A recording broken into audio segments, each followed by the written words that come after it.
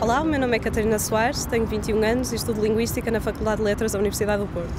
Eu acho que correu bastante bem, eu não, não conhecia bem o curso antes de vir para aqui, ou seja, ah, não sabia que existia antes, fui procurar e fiquei muito Uh, fiquei muito agradada porque era mesmo o que eu estava à procura. A relação dos professores com os alunos acho que é muito boa porque uma pessoa tem a ideia que na faculdade há muita distância entre os alunos e os professores e isso surpreendeu-me. Estão muito abertos a, a, explicar melhor e a falar mais connosco e gostam mesmo do que estão a fazer. Se calhar melhorar o, o site das, das faculdades, o Cigarra, porque ele encrava muitas vezes na pior altura para, para encravar, como na inscrição em turmas e coisas desse género, que as pessoas que merecem bolsas de investigação as tenham, é? mais fundos, Uh, e mais fundos para as áreas todas, de preferência. Para além da, da questão óbvia do apoio financeiro muito razoável que é, não é? Obviamente. Uh, fica muito bem no currículo, acho eu, espero eu. Uh, dizer que se ganhou um prémio da Universidade do Porto por ter boas notas.